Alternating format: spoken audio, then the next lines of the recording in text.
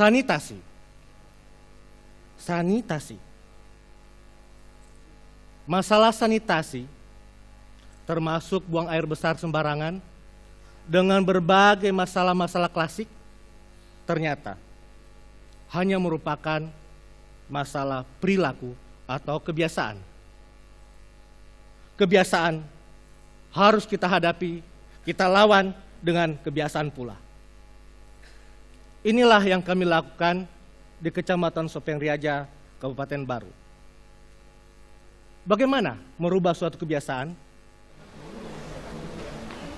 Perlu adanya suatu gerakan yang dapat mengagetkan, semacam sokrati, yang dapat menumbuh kembangkan rasa malu Oke, tanpa yang sekarang lagi megang HP bukan lagi ngerekam. Shock terapi yang kami lakukan adalah tiada hari tanpa kata sanitasi. Di mana saja, kapan saja, oleh siapa saja. Jangan dipaksakan, dia harus muncul dari dalam diri masyarakat itu sendiri. Jangan sampai kurangnya kesadaran masyarakat menjadi alasan untuk menutupi diri kita dari ketidakmampuan. Jangan sampai menjadi alasan kebenaran untuk tidak atau bahkan tidak berbuat apa pun. Kenapa demikian? Karena kita adalah pembawa perubahan. Kita ingin merubah mindset dan perilaku kebiasaan masyarakat kita. Fenomena yang sering muncul banyak keinginan untuk merubah mindset. Tetapi cara-cara yang dilakukan itu-itu saja. Bahkan dilakukan hanya cukup satu dua kali saja. Bagi kami itu adalah cara yang kurang tepat. Tadi kami menyebut shock terapi. Shock terapi yang kami lakukan di sini juga mensosialisasikan gerakan stop buang air besar sembarangan tempat yang dilakukan terus-menerus di mana saja. Baik itu di kegiatan puskesmas, posyandu, masjid-masjid, pengajian-pengajian, di mana saja. Pokoknya segala potensi akan kita gunakan. Semua akses-akses ke masyarakat akan kita tempuh.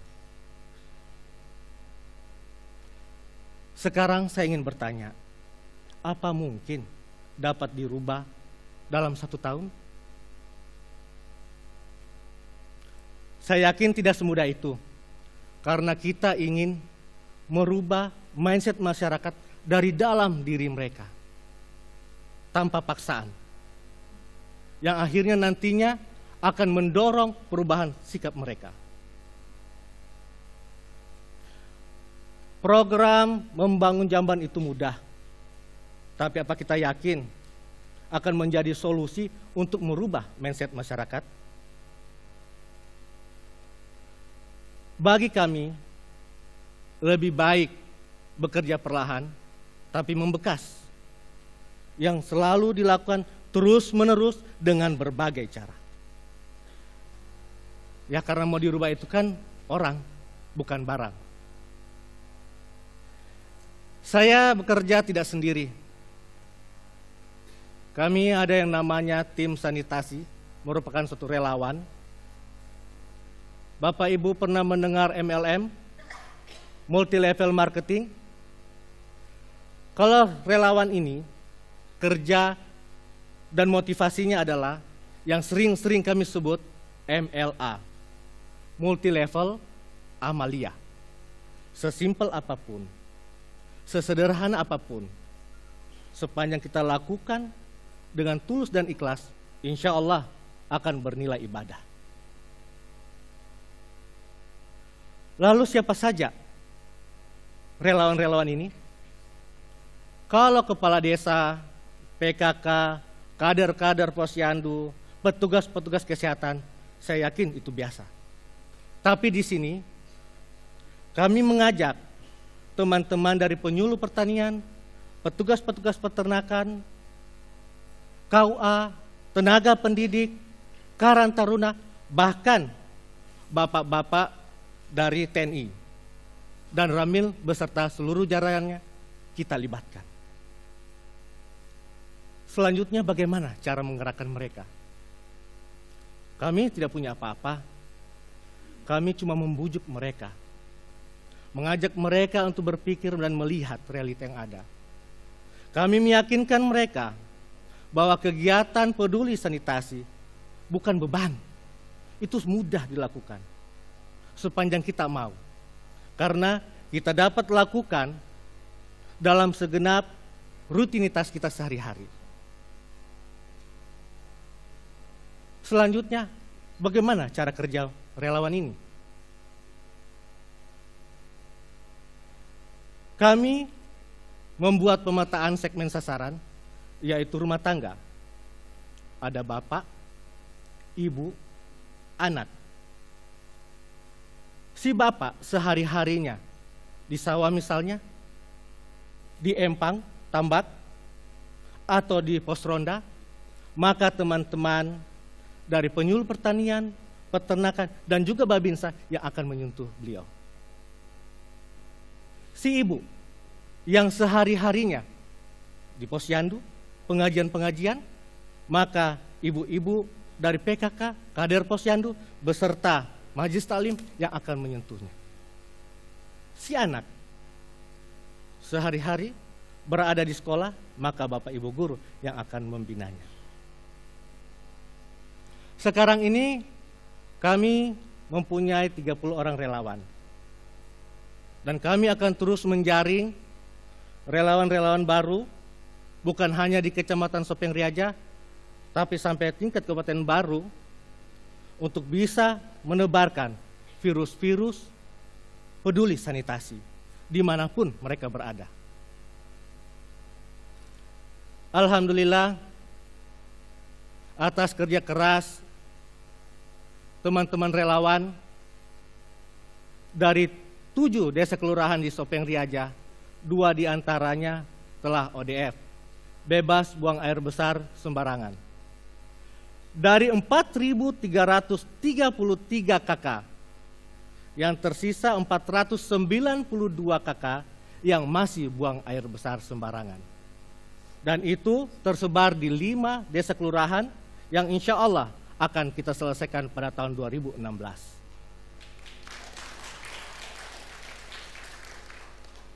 Tentunya kami mempunyai impian. Kami ingin kecamatan kami, kabupaten kami ODF. Satu desa ODF itu biasa. Tapi kalau kecamatan, kalau kabupaten yang ODF itu yang patut kita wujudkan. Namun demikian, impian kami hanya akan menjadi hayalan meskipun strategi yang telah disusun demikian rupa apabila tidak dilaksanakan dan segera dimulai. Kami merasa kerdil apabila hanya bekerja untuk Kecamatan Sopeng Riaja. Kami juga ingin, kami juga bermimpi agar kabupaten kami, kabupaten baru, bisa ODF, bebas dari buang air besar sembarangan. Bahkan Indonesia ODF itu tidak berarti tidak mungkin. Itu bisa. Sepanjang kita mau bersama-sama bergerak, dimulai dari hal yang kecil, hal yang sepele, dengan keikhlasan, dan tentunya harus dilawan dengan kebiasaan pula. Demikian cerita kami. Saya yakin Bapak Ibu pasti juga mempunyai cerita masing-masing. Selanjutnya, apa cerita kita bersama? Terima kasih.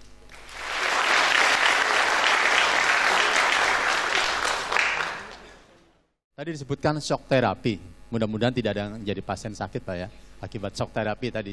Tapi justru shock terapinya dengan cara yang bijak tadi. Tadi katanya tidak menggurui, tidak merasa perintah dan sebagainya, itu shock terapi yang mungkin kita harus belajar dari Bapak. Ya, entah nanti lewat lewat panitia, lewat media mana, caranya pertama tadi shock terapi cara bagaimana. Yang kedua, cara membuat multi level amalia tadi gimana, Pak? Kalau cara membuat multi level marketing orang-orang kota sudah biasa. Ya, dengan model handphone sebagainya, tapi mungkin pelajaran yang perlu kita dapatkan pelajaran pada hari ini cara membuat multi level amalia. Ya, saya apresiasi itu. Kemudian yang berikutnya, Bapak Jokowi waktu menjadi presiden sudah bicara soal revolusi mental. Bapak sudah bicara revolusi mental sejak 2012.